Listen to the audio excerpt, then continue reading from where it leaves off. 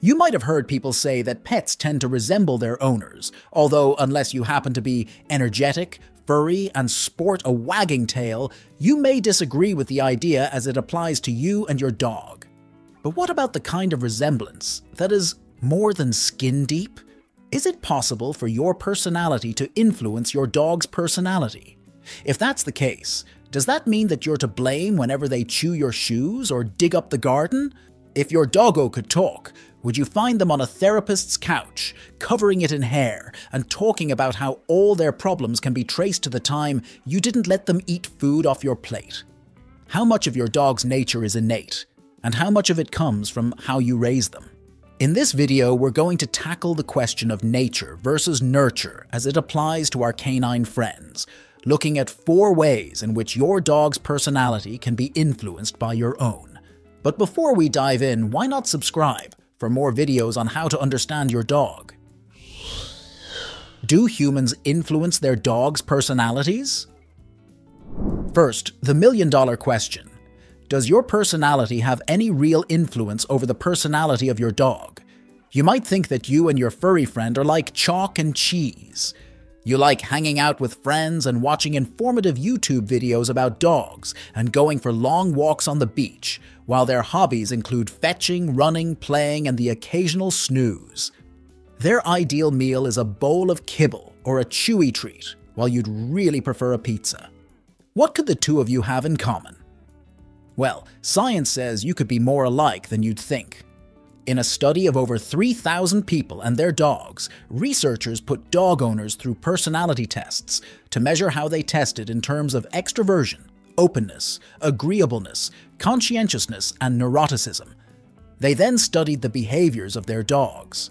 The results of this survey showed a significant correlation between the personalities of the dog owners, as judged by the tests, and the behavior of their pets.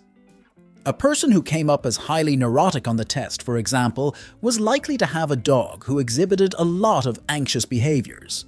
A person who was rated as being very extroverted, on the other hand, was likely to have a more confident doggo. But how exactly does a human's personality influence their dog?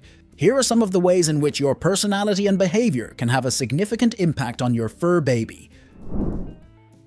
Number 1. Fear Factor in the wild, the ancestors of our pampered pets would have to contend with everything from larger predators to challenging terrains. Their alertness is a hard earned evolutionary advantage. You've probably had the experience of accidentally dropping something while your dog reacts as if it were a major threat. Or maybe you've seen those videos online of dogs barking or jumping at inanimate objects like they're dangerous intruders. Dogs can be scared of a lot of weird stuff, but did you know that they can also pick up on your fears? Our dogs see us as important members of their social group, which means that they look to us to see whether strange situations are safe or dangerous. If the human is confident and happy with what's going on, then the dog is more likely to assume that things are safe. If the human is noticeably anxious, however, and our dogs are far better at picking up on our emotions than you might think, then they're more likely to be anxious in turn.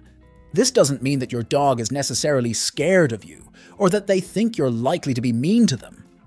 Dogs are just naturally wary of anything that feels unpredictable or disrupts their routine, and humans who are anxious are more likely to behave in unpredictable ways. Number 2. Raising them right. If you have your dog from when they're a very young puppy, then how you raise them will have a huge influence on their future personality. A doggo who has positive and friendly encounters with humans in early puppyhood will grow up to be a friendly and personable dog. A dog who doesn't have these experiences could end up never being fully confident around humans.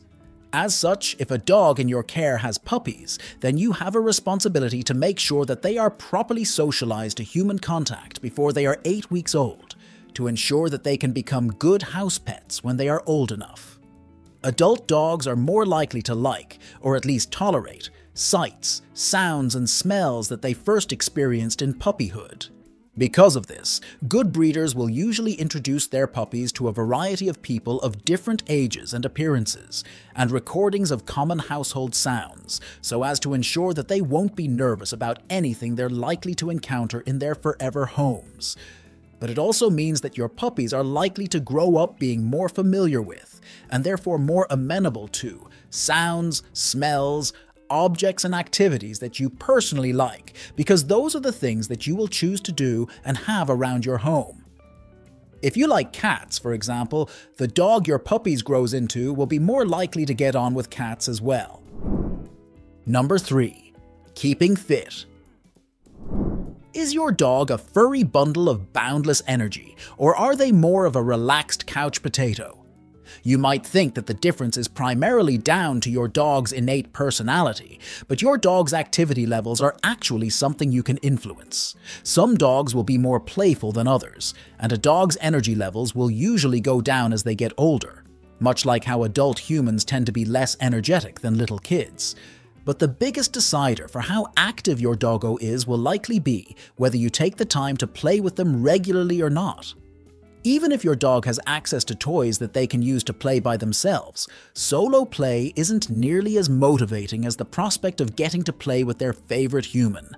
Something as simple as tossing a ball or a frisbee for your dog to chase can be the first step towards making your dog more interested in getting exercise.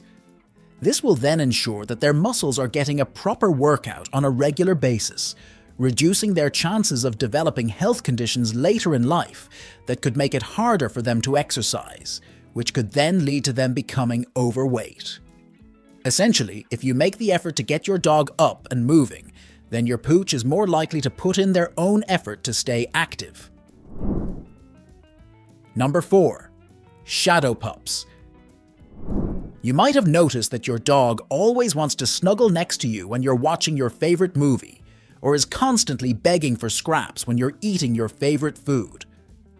Our furry friends are unlikely to have developed any strong artistic or culinary opinions about these things, but they're likely to favor things that you enjoy because they associate them with you being happy.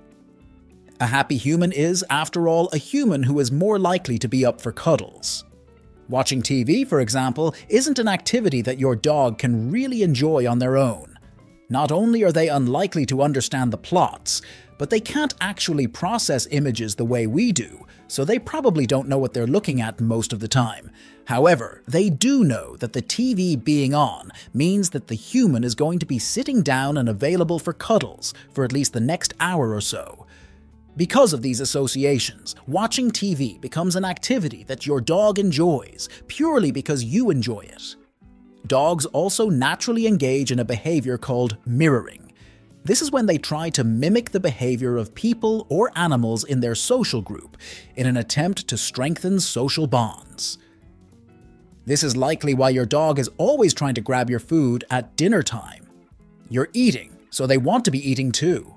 Feeding them their own dog food at human mealtime can sometimes help make them feel included and distract them from begging for table scraps. Did you know that where exactly your dog chooses to sleep says a lot about your relationship? Check out this video to find out what your dog's sleep spot reveals about their feelings towards you.